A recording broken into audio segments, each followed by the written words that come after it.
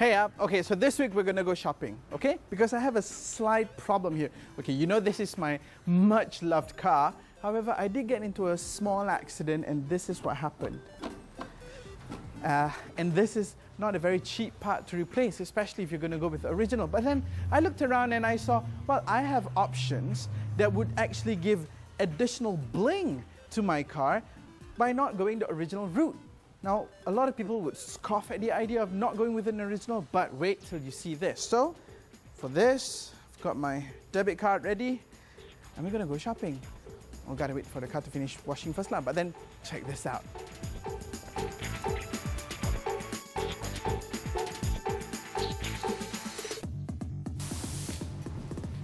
Okay, so this is like a trip to Toys R Us for me. This is what we call going shopping. Um, so here's the brief. We are here to look for a replacement headlamp for my car. What do we have here? Headlamps. Okay, headlamps. Uh, we are here in uh, Eagle Eyes Auto Lamps, uh, and these guys have been in the business for a very, very long time. In fact, the products, the the, the company that makes these headlamps uh, back in Taiwan have been around for well over 30 years, and um, they have the quality assurance behind them. Uh, they check their goods very, very thoroughly. Every bit, every single light bulb, the, the, the polycarbonate uh, lens and the polypropylene uh, housing, everything is done uh, with a proper stringent uh, OEM standards quality control. Okay. Also, well, that's the quality part. The other part, of course, is the design part. Now, for example, if you come over here, I'm kind of familiar with this place already. Uh, they have a myriad of both headlamps and tail lamps that you could choose from. Uh, this is uh, from a 5 Series BMW. Uh, of course, now, for example, if you take this one here, uh, I believe this one here is from the uh, latest generation of the Civic. This is from the Civic? Yes. Okay. Yeah, the guys from the back are telling me, yes, this is for the Civic. So, this is for the one car. However, they do have several different design options that you could choose from. You, could, you have this one with the very, very sexy new uh, light bar uh, design. Uh, you can also find something that is purely LED. So it all depends on what you want to do. Uh, so the next step for me here is to choose a headlamp, uh, which I think I'm pretty sorted. I know I've done my research, so I know exactly what I'm looking for, and it's time to install it. And again, installation is another big part. So let's go and check out how they install the headlamps.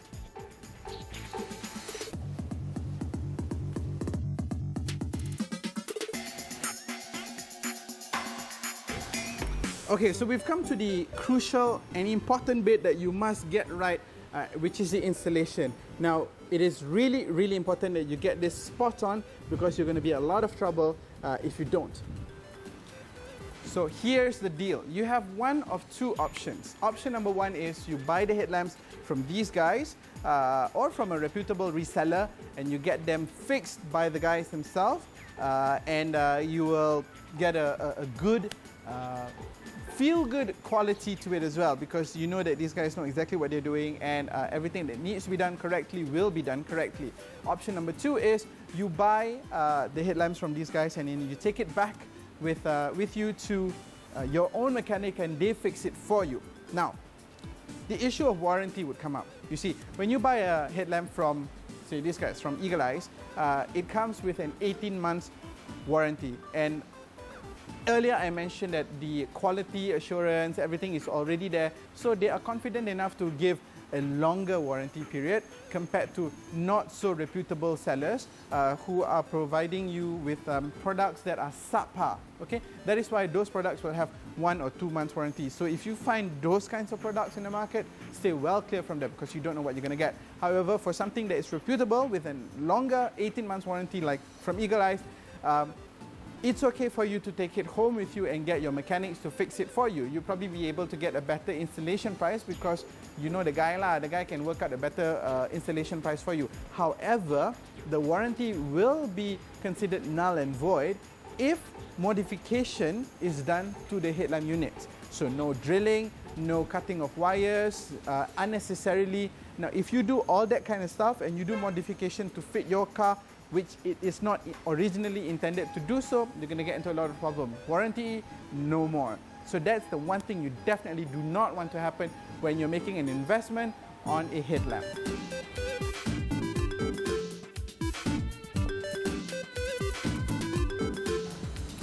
Now hold on a second. Now I'm changing my headlamp because I've got a broken headlamp. Now you must be thinking, why would you want to change your headlamp if you don't have a broken headlamp? Now here's why. Now apart from the cool design factor, of course, which is anybody wants that, the other issue is safety. Now safety how? Now if you change your headlamp, you can upgrade your headlamp because you might be thinking, well your current headlamp does not give you enough amounts of light that you really want it to put out. So what do you do? You upgrade your headlamps. And basically there are two ways to go about it. This baby here is the uh, standard uh, halogen uh, bulbs, which basically you can just replace in your car. Uh, you can go for a slightly brighter bulb, but hey, this is basically a, a, standard replacement. It's basically take out the old bulb and put this one new in, uh, and you're good to go. The other one, of course, is this one here, HIDs. I know, I know, I know.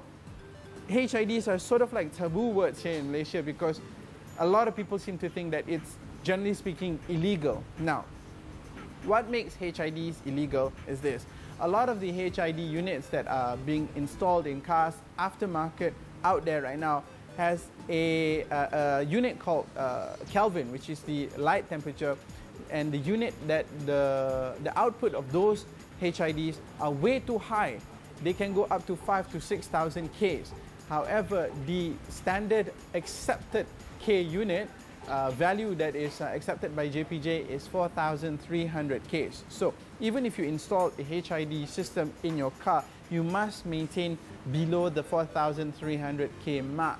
Anything above that, it doesn't matter if it's HID or halogen, you are going to be on the wrong side of the law and your uncle is going to come knocking on your window. So the thing that you want to do is, regardless if you want to go with halogen or HID, you must go with the right amount of light, which is 4,300K and below. Anything south of that, you're good to go. Anything north of that, your best friend, the policeman is going to say, excuse me, pull over please.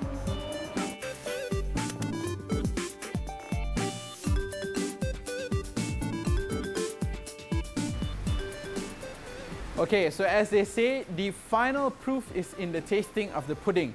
So we want to know safety, what exactly are we talking about? Hit it.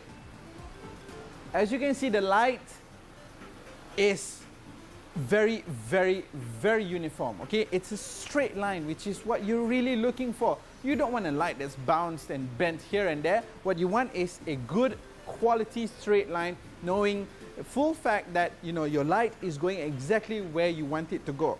However, do check this out. Now, if I'm standing over here, you will notice that this side is slightly higher than this side. All right? Now, why is that? The explanation is very simple.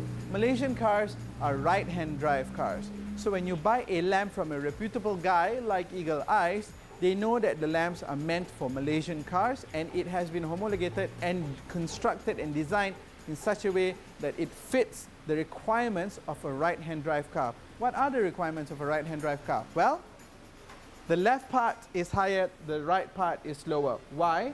Because your oncoming traffic is on your right. So you do not glare the oncoming traffic with your light because the, uh, the beams are dipped lower. On the left, you will find your road signs. Your road signs are on the left, so the, the beams are dipped higher so that you get a better view of the road signs. Very simple logic. However, if you buy headlamps from an irreputable guy uh, that is selling you products that are actually meant for left-hand drive cars, you will face a problem because this will be that. What you're going to get really is your lights will be blinding the oncoming traffic because the beams are dipped higher and you're not going to be able to read your road signs as well because the beams on this side is dipped lower. So, which is precisely why you must know exactly what you're getting yourself into. From data.